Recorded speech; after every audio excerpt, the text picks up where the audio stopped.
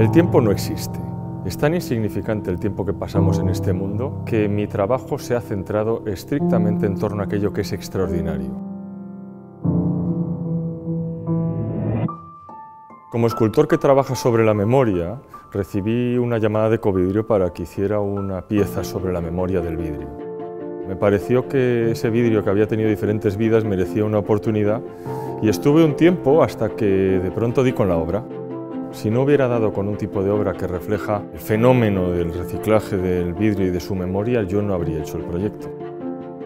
Hasta tal punto está presente el tiempo en la obra En la memoria del vidrio, que es un reloj.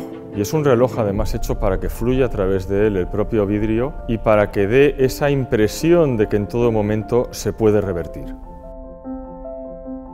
El reciclado a nivel filosófico es una maravilla, porque significa tener una nueva vida después de otra.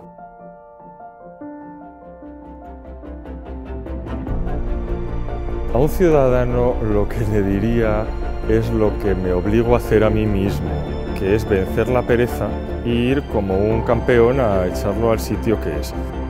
¿Que es fácil? No, no le diría, no me parece que sea fácil, es necesario.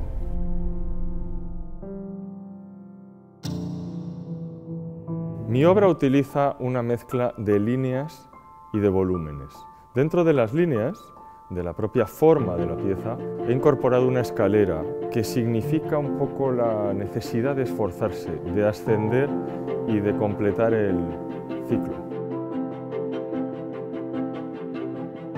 Una vez estaba el concepto de la obra, mi sorpresa al estudiar el ciclo, el círculo del reciclaje del vidrio, fue descubrir que el calcín, que es el material que almacenan a partir de los desechos, es mágico, es maravilloso. Yo soy un artista, un tipo peligroso y completamente desproporcionado en sus pretensiones. Pero en esta obra concreta tengo la intención de despertar conciencias, de hacer que la gente trabaje un poco y que intentemos entre todos salvar un poquito el planeta. El foro de referencia en nuestro país para presentar un trabajo de arte contemporáneo claramente es Arco.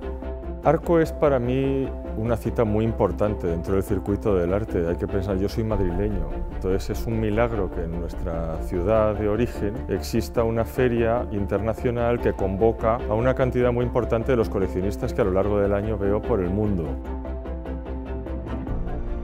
Al mismo tiempo tengo una responsabilidad muy especial, no puedo ir a la feria de mi ciudad con obras que no considere que son un reto importante. Y desde luego este año estoy completamente satisfecho de, las obras que van a estar.